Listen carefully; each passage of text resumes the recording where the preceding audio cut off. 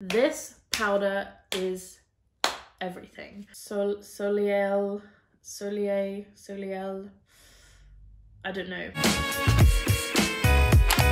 Hey guys, welcome back to my channel or welcome to my channel if you're new here. My name's Olivia and I am posting two videos a week related to beauty or lifestyle, that sort of thing. So if that is something that you want to see, then make sure you hit the subscribe button down below and also hit the notification bell so you do not miss any of my uploads. But other than that, let's just go ahead and jump straight into today's favorites video. Okay, so I'm sorry if my eyes look a little red. They're a little irritated today. Not sure why. They've just been a bit irritated and watery even before I put my makeup on. So haven't put any lashes on. I don't want to put too much on them to aggravate them. So yeah, just going for the natural glowy look today. And I'm actually kind of living, the sun's shining, living my best life well as best as I can whilst we're in lockdown. So I thought I would sit down and show you some of my favorite beauty related products.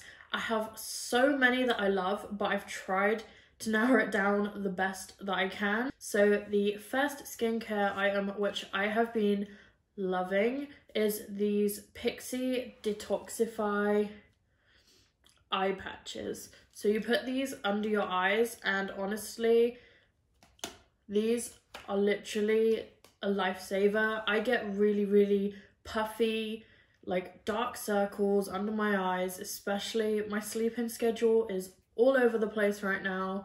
So these honestly just make me look alive. Um, but yeah, these are really, really good. You put them on, leave them on for about 10-15 minutes and honestly my under eyes just all the puffiness and all the redness and everything just disappears under my eye. Definitely one of my absolute faves. I, I use these all the time. So another thing that I've really been loving recently skincare wise is the Clean and Clear Blackhead Clearing Cleanser. So as you can see, like I've been trying this every day for about two weeks now. And honestly, my blackheads, like I have struggled so much trying to get them under control, trying to get rid of them. I've tried so many different products and then I saw this in Asda when I was out doing my weekly food shop and I was just like, you know what, I'm gonna try it because a lot of people recommend the Clean and Clear range and I've been using this and honestly my skin hasn't looked as good as it does right now in a long time.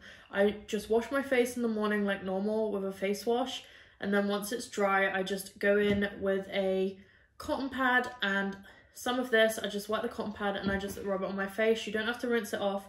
And honestly, like, it is definitely working and my blackheads are disappearing and my skin is less textured and I really am just loving it right now because I've always been insecure about my skin and that product is really really helping i think it was like four pounds so if you're struggling with like blackheads then definitely definitely recommend that. Like I said in my whole video, I really struggle to find good primers, but this one is one that I actually love. And this is the Revolution Conceal and Fix Mattifying Primer. So I really love this because it covers all my pores. It literally just gives me such a smooth base and really helps with controlling my oils. So this one's really, really good. And for the price point, it's definitely, definitely one of my favorites. I picked up the Milk Hydro Grip Primer and I have used this every day since I got it. I am absolutely living for it. It is amazing. It makes my makeup stay in place for hours. It makes my skin look flawless. And honestly, I am just in love with this and I'm definitely going to be repurchasing this when it runs out.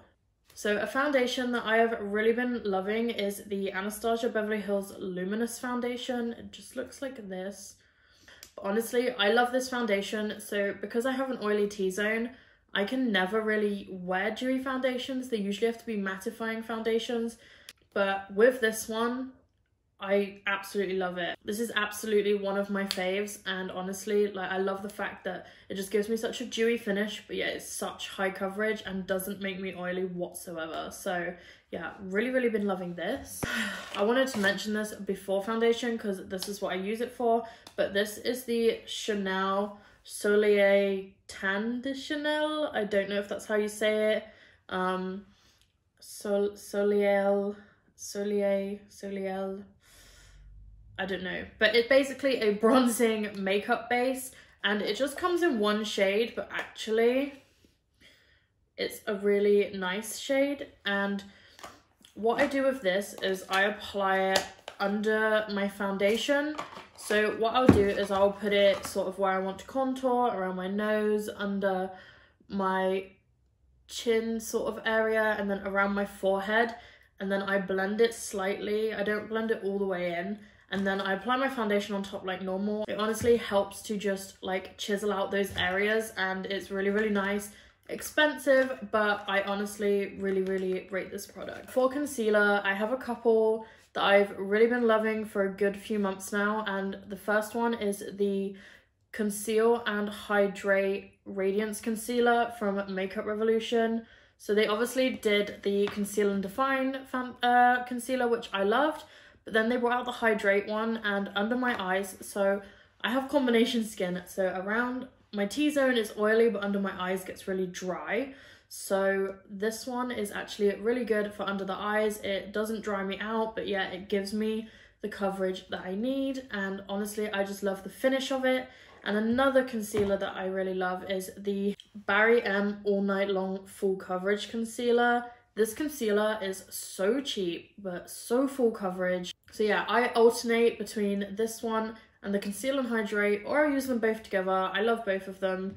They both work really well and they're both so affordable. For face powder, right now my absolute ride or die face powder is the Anastasia Beverly Hills Loose Setting Powder in Vanilla.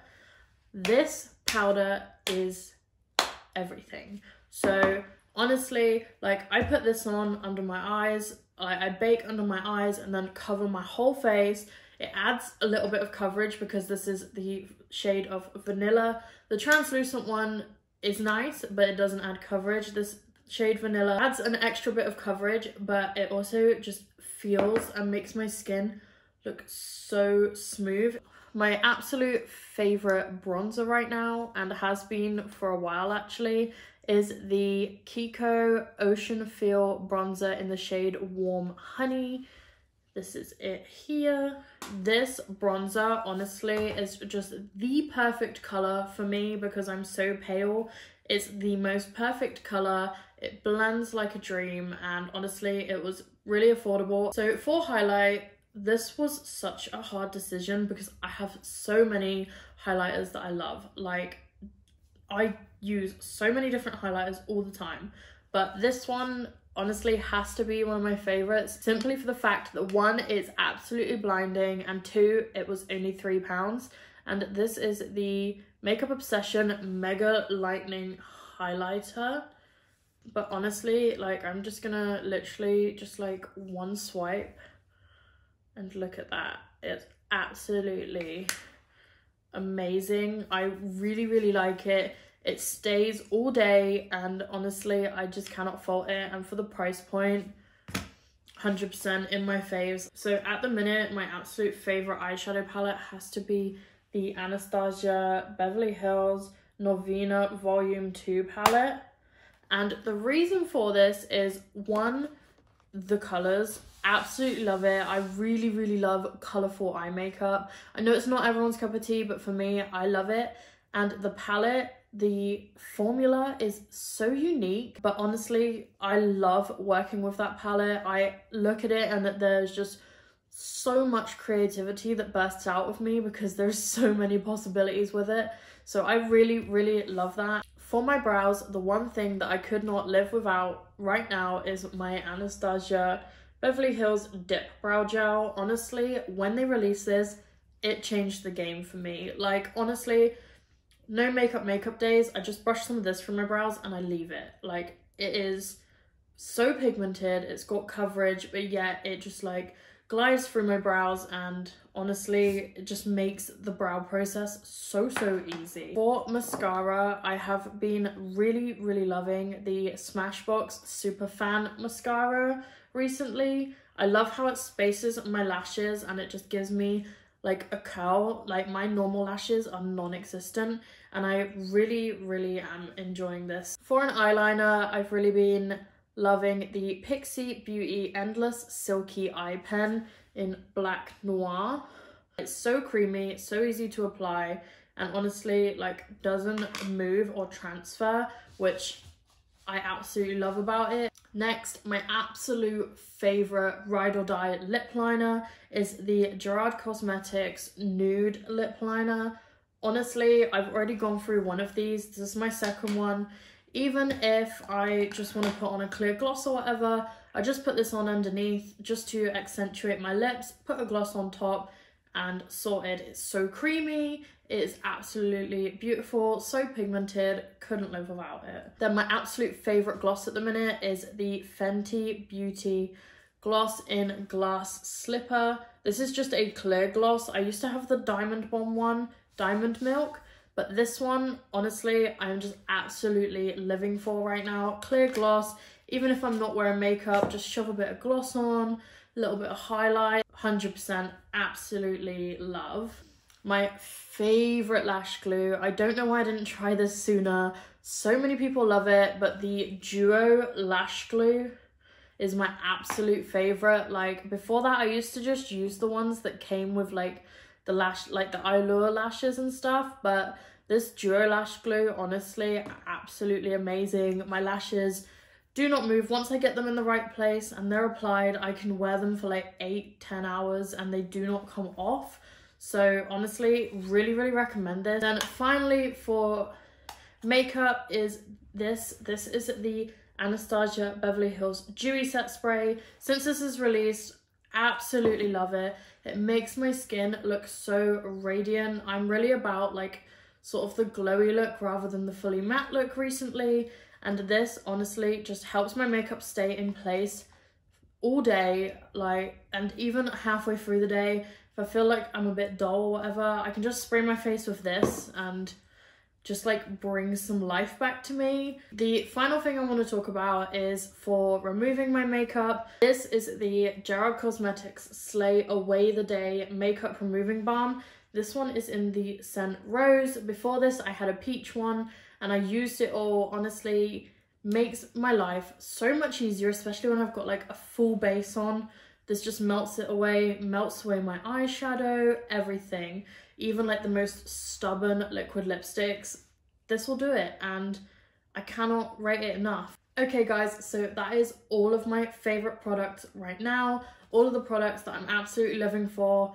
100% recommend them. If you guys want to check them out, then I definitely would recommend doing so. But yeah, thank you guys so, so much for watching.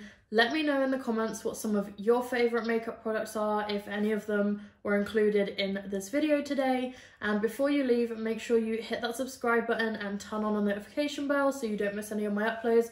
And also leave a big thumbs up if you enjoyed it, it really helps me out. But other than that, thank you guys so much for watching and I will see you in the next video. Bye guys!